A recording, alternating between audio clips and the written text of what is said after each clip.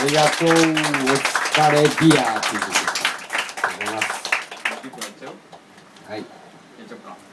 まあじゃあ今さっき話したんで5曲プラス2曲作ったということでもう1曲はえっと自分が1曲作りました。そうですね。毎回ですねあのケイタはもともと自分の生活とか自分の魂とか自分の考えを思いっきり曲の真ん中に持ってきたような歌詞をつけるんですけど自分がですねその辺が空っぽでですねはいえどういうこと？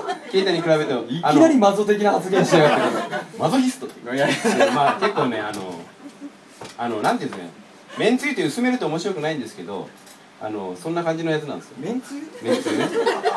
ケイタはストレートで飲めるめんつゆなんだけど俺はあの薄めて飲んでって薄めすぎた。話もういいです。これもういいです皆さんもう今日とってなってます。でもねその代わりあの曲を作る時にですねなんか作り話じゃないですけどストーリーを展開できるのがありまして、妄想みたいなね、はい、毎回妄想ソングを作るわけでございまして、えー前前作ぐらいに作った「あのモテない男がお見合いに行く」っていう歌も作りましたけど今回はですねあのケイタがですねその休憩の場所であのデュポンっていうすごいいい音がするライターがあるんですよ。そうです。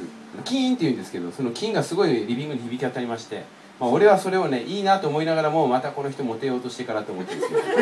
そんなねモテるためにね違うんですよ。モテるためにいい時計とかいいライターをね身につけようというね。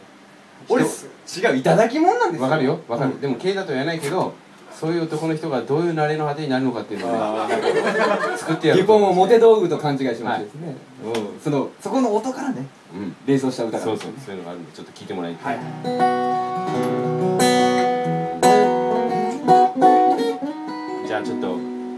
感じのカウンターにですねこう綺麗な女性を待つですね男がリポンキンキン鳴らしてるのを想像して聞いてもらいたいなと思います。ひたすらキンキン鳴らしてる。ワ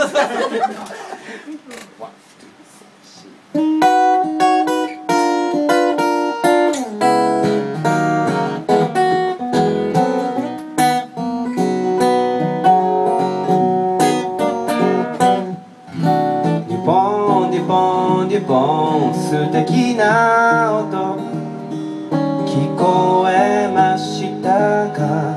聞こえました。夜を刻んで It's so sexy あの子も一頃に。デュポンデュポンデュポン雪吊りさ。あなたの服もはだけてますよ。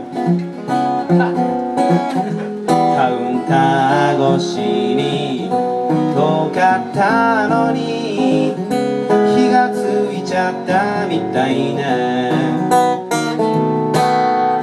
メタルボディの粋なやつ。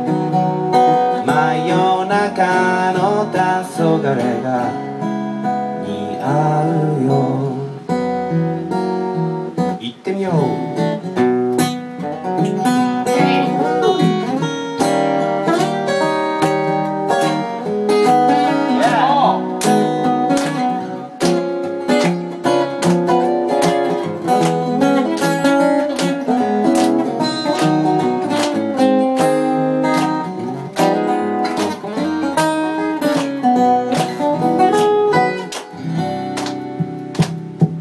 嘘嘘嘘をつつもたせ。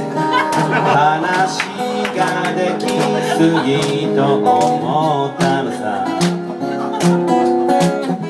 夜に響いたおいらの嘆きは悪い夢だと言っておくれ。セカンドバッグの怖い人。シャワーを浴びたらそこにいた。最高。シャボンシャボンデュポンが好きださ。気がつかなくなってしまったけ僕に気がつけばならなくなるのか。